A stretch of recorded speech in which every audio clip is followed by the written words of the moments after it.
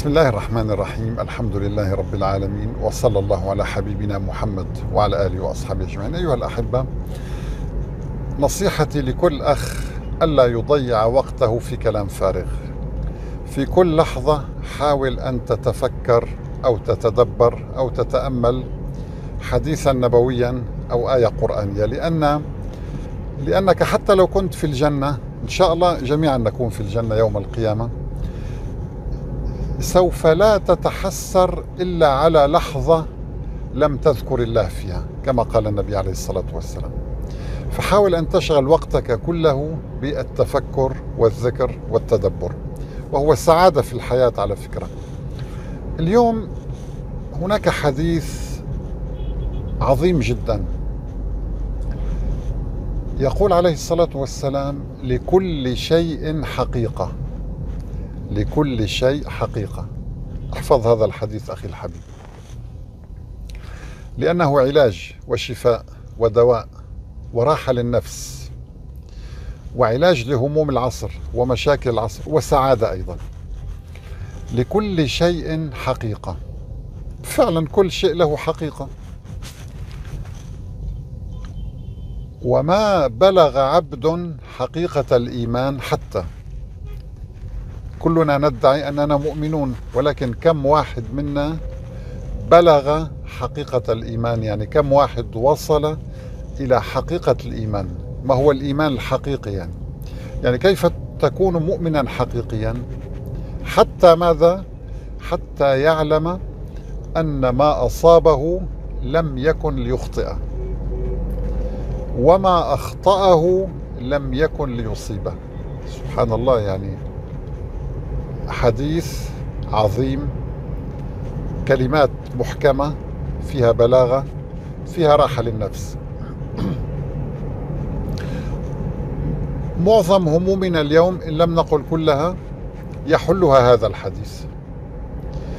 إذا أصاب الإنسان مرض يحمل هما يقول لماذا لم أفعل كذا؟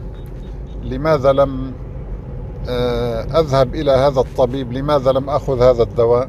لماذا أصلا ذهبت إلى هذا الفلان وأصبت بهذا المرض بسبب عدوى أو بسبب شيء آخر؟ لماذا لماذا يبقى يلوم نفسه وهو آه، يعني آه، يعتقد أن المصادفات هي التي تتحكم؟ لا. الله هو الذي يتحكم بالكون. حتى يعلم هذا العبد أن ما أصابه لم يكن ليخطئه وما أخطأه لم يكن ليصيبه. فإذا كيف أنا أبلغ حقيقة الإيمان؟ يجب أن أعتقد على سبيل المثال دخلت في تجارة وخسرت. تزوجت امرأة وكان زواج تعيس أو فاشل أو سبب لي العديد من المشاكل. لا.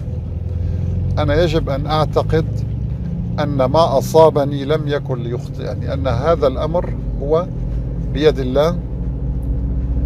كل شيء بيد الله فأرتاح. أسلم الأمر إلى الله سبحانه وتعالى. وأن ما أخطأني لم يكن ليصيبني. يعني هناك مثلا شيء أريد أن أشتريه وللأسف حدث شيء ولم أتمكن من شراء هذا البيت أو هذه السيارة أو هذا الموبايل أو أي شيء يعني أي شيء من متاع الدنيا. فأبدأ أقول لو أنني أسرعت لكسبت هذا الشيء. لو أنني لو أنني. وهنا يعمل الشيطان. الشيطان متى يعمل في هذه الحالات؟ عندما أعلم أن هذا الأمر أو هذا المتاع ليس من نصيبي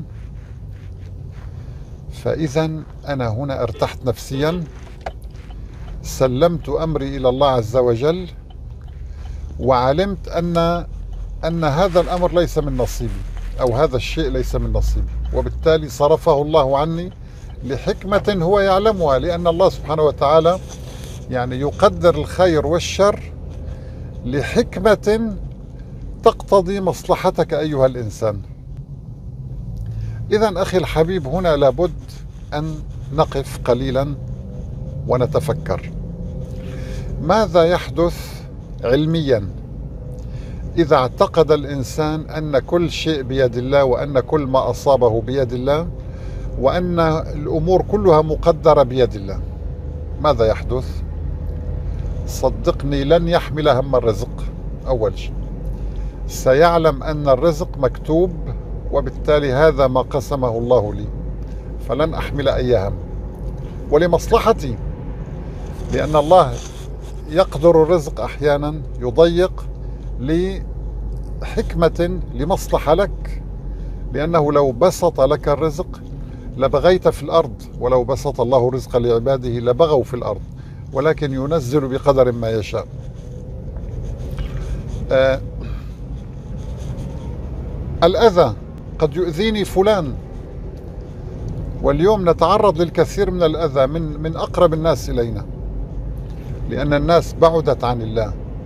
لم يعد أحد يحب خيرا لأحد غالبا يعني إلا ما رحم ربي. طيب تعرضت لأذى؟ لا. يجب أن أعتقد هذا بلاء من الله. أصابني بأمر الله وأصابني لم يخطئني. يعني لا يوجد مصادفات في الكون. وبالتالي أنا أسلم الأمر إلى الله وأنتظر الفرج من الله وأنتظر أن يكشف الله عني هذا الضر. انظر معي إلى كل الأنبياء عليهم السلام. أنبياء الله جميعا كانوا يتوجهون إلى الله. لم أجد نبيا سأل أحدا من البشر في كل القرآن. اقرأوا القرآن كاملا.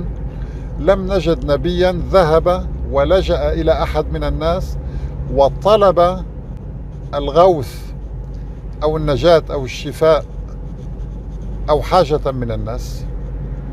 إذا سألت فاسأل الله وإذا استعنت فاستعن بالله. واعلم أن الأمة لو اجتمعت على أن ينفعوك بشيء لم ينفعوك إلا بشيء كتبه الله لك. وأن هذه الأمة لو اجتمعت على أن يضروك بشيء اعلم أنهم لن يضروك إلا بشيء قد كتبه الله عليك. رفعت الأقلام وجفت الصحف. إذا أخي الحبيب هنا منطق نبوي. طب لماذا هؤلاء الأنبياء كانوا الأكثر نجاحا؟ ببساطة لأنهم فهموا هذه القاعدة أنه ما أصابك لم يكن ليخطئك وما أخطأك لم يكن ليصيبك. وبالتالي هنا إذا أدركت هذه القاعدة المهمة أنت بلغت حقيقة الإيمان. سبحان الله. لذلك أخي الحبيب نختم ونعيد هذا الحديث. أنا أحب دائما الأحاديث التي تهمني تغير حياتي أحب أن أحفظها. لكي أتذكرها كل يوم تواسيني في صعوبات هذا العصر. آه هذا الضغط الذي نتعرض له الضغط النفسي الكبير في هذا العصر. مثل هذه الأحاديث تواسينا أخي الحبيب. الحروب لا تقع إلا بأمر الله. الظلم لا يقع إلا بأمر الله. صحيح هو من الإنسان ولكن ليس رغما عن الله عز وجل حاشا لله بل هو بأمر الله. ودائما إذا كنت مؤمن كل شر يحدث معك هو لمصلحتك بالنتيجة. وكل خير يحصل معك هو لمصلحتك. لكل شيء حقيقة. وما بلغ عبد حقيقة الإيمان حتى يعلم أن ما أصابه لم يكن ليخطئه وما أخطأه لم يكن ليصيبه. صدق رسول الله صلى الله عليه وسلم. والسلام عليكم ورحمة الله تعالى وبركاته. حتى يتبين لهم أنه الحق.